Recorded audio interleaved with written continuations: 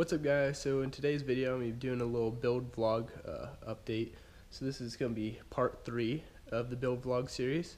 And it's been a while since I've done a build update of the truck here. Kind of a lot's happened but not too many major things so I'll go over all that uh, pretty quick here. Um, before we get started I just want to give a little shout out to my new Instagram page I started.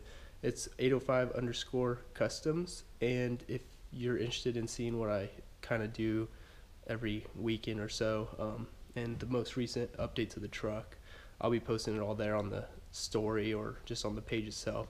I do quite a bit of little projects in my garage here and just kind of little fabricating things and welding stuff. And yeah, that's kind of what I'm interested in. So if you're interested in checking that out, go ahead and check out that Instagram page and we'll get started here.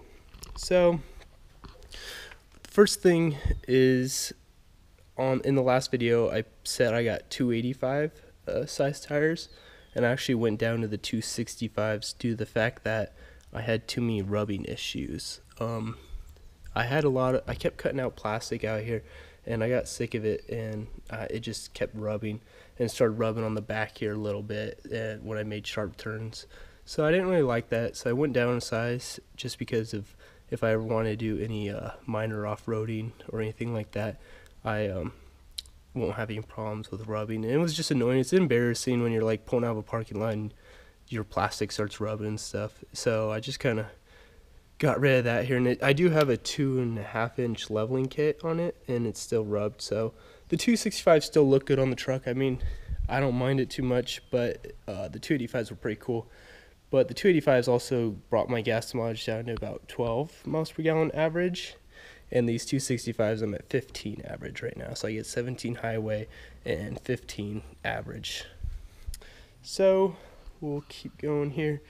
The next thing is my Plasti Dip update. So they're a little dirty right now. It's been raining a lot in here in California ever since New Year's. But um they trust me they look really good when the truck's all clean. And I have not touched these up since I did it and it was over a year ago. So I'm actually really stoked on how well all this turned out here and how well it's been holding up. It's pretty, it really has impressed me. I put, I think, four or five coats on this, so a good amount, but definitely worth it if you're interested in getting rid of the chrome on your truck and want to do it on budget. It's super cheap and doesn't take that long. It turns out really well. I've gotten a lot of compliments on it, just saying it looks good and stuff. And yeah, so we'll keep moving on here. Next thing would be my entry lighting. It's gonna be kind of hard to see right now just because it's daylight out, but I'll show you the LEDs here. So whenever I open the door, I have this underglow, people call it. I call it entry lighting because I don't really use this underglow. You see the strip here. I made this whole uh, um, bar or strip out of aluminum so I could remove it and easily. So it's just held on by factory holes that are behind these little caps here. I forget the thread size. I think it's an M8 bolt. But um, you just uh, pull off these caps and then thread, get the bolts thread on there. And then you have these strips that are easily removable and doesn't affect the truck at all. So that's how that's all set up underneath there. And then the footwell LEDs, I put one on the driver's side and passenger side of uh, the truck here. Um, so those also come on with the door. Whenever the dome light comes on, those come on. But you could also turn on the dome light without these coming on. So that's kind of nice. This switch here is for the underglow. So if I ever did want to leave it on, I've never really used it yet before. But I mean, if I go to like a truck meetup or something like that, I can turn them on. Just something kind of, it's there if I ever need it, but I don't really use it. Um, the next thing, well, all right here, my bumper light bar. So this is an Auxbeam 32 inch light bar. I have this little switch here, it says bumper light bar. Thought it was kind of cool. It's alright. I mean the switch is a little poor quality but it's cool, gets the job done. See it turn on there. So the cool thing with this light bar, it's an RGB light bar so it does colors as well. The colors aren't as bright as um, the white but it's still pretty cool just to play around with and show off a little bit. So that's pretty cool. It was a reasonable price. It wasn't too much. And the white is super bright. I'm going to wire up the light bar to, with my high beams. When I turn on my high beams, the light bar comes on as well. So when I'm driving on the back roads, I have the light bar on. Excuse the mess in here. Um, the next thing I installed was this voltmeter that comes on with the key comes on, and then um, this uh, USB port. So this USB port is pretty cool. I uh, usually leave my headphones plugged in for the gym, and every time I go to the gym, they're charged, so that's kind of cool. And then I have my phone charger in here. This USB port's always on, so that was one thing I really wanted in this truck because none of these uh, 12 volt ports uh, actually gave power while the truck was off. So that that was really annoying, and I wanted power when the truck's off, and I'm not in it. So now that that's there, that's pretty nice. Um, the cigarette lighter here that used to be here, I took its power, and that's what feeds this voltmeter. So that's why when the key turns on, the voltmeter turns on, and then this port is actually a uh, extension from my head unit here. I used to have the USB port going into my glove box, but I just got an extension cable and then mounted it up right here. So that's kind of nice to have. I mean, if you wanted to just have this as power, that would be a pretty cool spot to put it too. If you want to just have like your phone charging or something. Uh, and then you still got one cigarette light, uh, cigarette port right there. Um, next thing in here, I don't really think this is that big of a deal, but just the bright white lights. It's good for finding things at night. Um, this one, it's the stock bulb because I used to have a red LED in there. I had actually, I made my own custom bulb and I had a bunch of these LEDs throughout here, so it's super bright. I mean, I could see everything in the truck when it was lit up.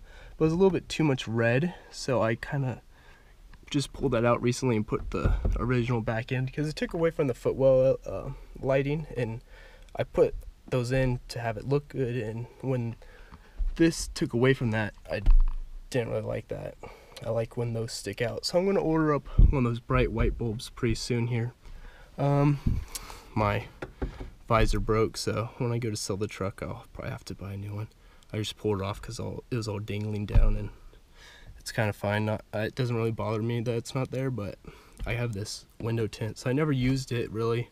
And the window tint, I mean, I it came with the truck, but it it really took a little bit to get used to having this narrow bit, uh, field of view. But uh, when the sun's setting and you have your sunglasses on, this helps so much. Um, by far, it really helps. Um, but I'll get a new visor one day. Um, we'll go through here. Let's see what else we got.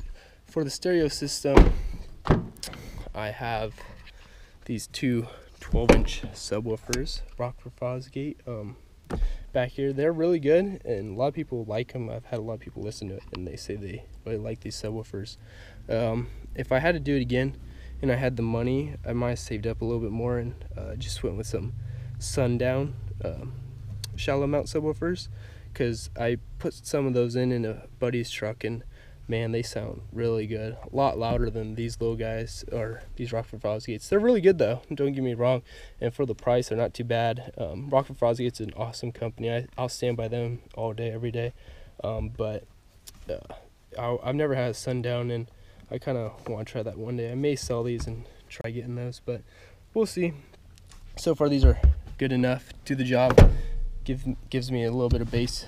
And then we got the amp down here underneath in the storage compartment. No problems with it overheating yet, but um, it's a pretty good amp. It's an NVX 1000 watt amp or 1200 watts, but I run it at 800, I think. So there's that 1000 watt subwoofers, but I run them at 800, I believe. Um, let's see here. She's in the back of the truck, so I'm training her to stay in the bed of the truck because she likes to jump out and run away when I'm at places.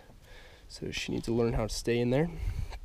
Um, next up would be my auxiliary reverse lights. These are Auxbeam again. Since I got the front um, aux beam light bar, I decided to just get these little pods back here and I stealth mounted them.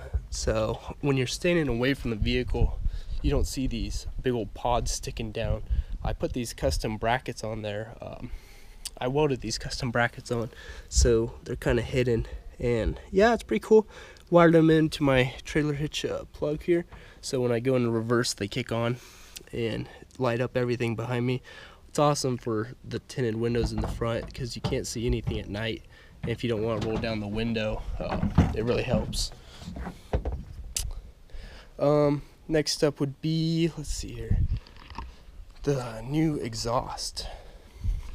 So I got a Flowmaster Series 44, I believe it is. Um, I'll have the links all down in the description for everything.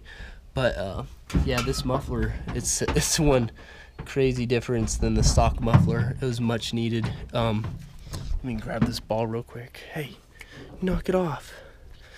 Um, I installed it myself. Got some more pipe here, and uh, actually I gotta take this bracket off. I fucked that one up.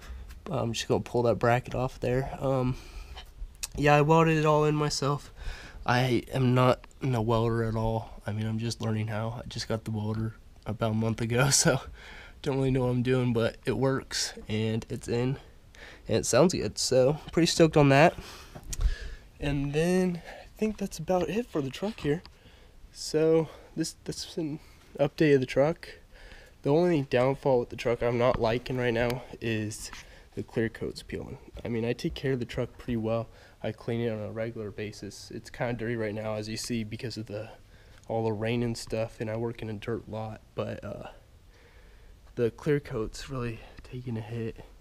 I'm not liking that. I don't like my stuff being trashed or anything, so that's kind of bothering me. We'll see what I'll do about that in the future. But um, yeah, so that's the only thing I don't like about the truck. I mean, it's a, been a great truck so far overall, and no problems with it at all. Easy maintenance, um, cheap too.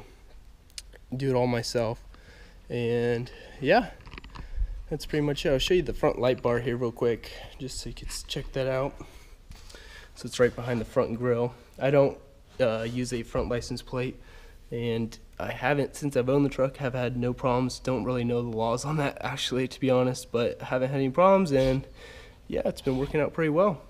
So if you guys have any questions about anything, go ahead and leave them down below. I'll try to get back to you as soon as I can. And if you have any uh, suggestions on what I should do with the truck, uh, I'll be more than interested in taking a look at it and um, possibly doing it to the truck. But I don't really uh, do everything everyone says just because some stuff doesn't work out for me or for the truck. So I kind of do what I want. And yeah, so thanks for watching. If you have any questions, leave them down below and subscribe for more. I'll be trying to make more different videos on trucks. Um, on my brother's truck here, I just put in all these little light pods all around it that are RGB, these little rock lights. I put them all around the truck and so I'm making a video on that. I got to edit it and upload for you guys. But yeah, so thanks for watching.